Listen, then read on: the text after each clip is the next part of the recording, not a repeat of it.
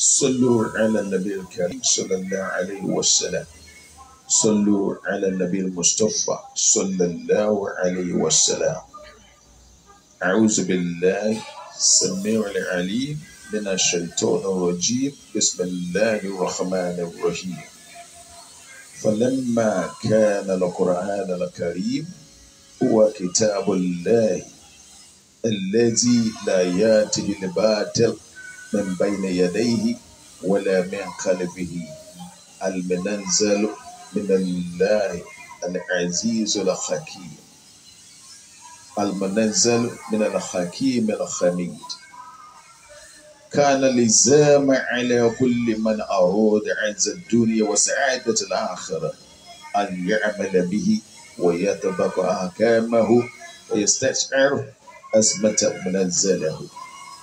يتمير عز القرآن بالشمال والكمال.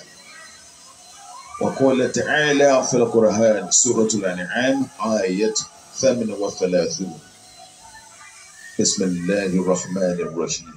ما فرطنا في الكتاب من شيء. ما فرطنا في الكتاب من شيء. وقال تعالى في سورة النخاع آية 9 فثمنوه ونزلنا عليك الكتاب تبيانا لكل شيء وهدى ورحمة وبشرى للمسلمين. سبحانك رب العزة عما يصفون والسلام على المرسلين. الحمد لله رب العالمين.